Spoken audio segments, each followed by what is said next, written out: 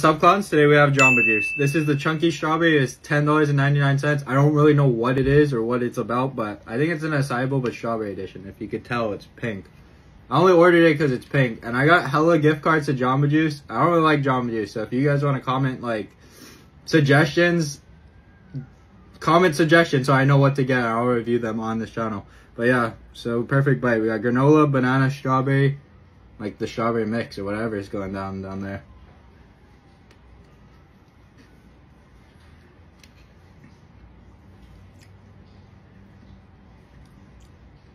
Okay, so there's peanut butter in here as well.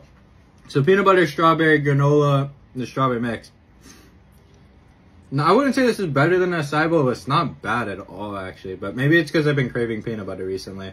I don't know how the macros are. I know it's a little less calories than acai in this one, but just based off of that one taste, it's actually pretty good.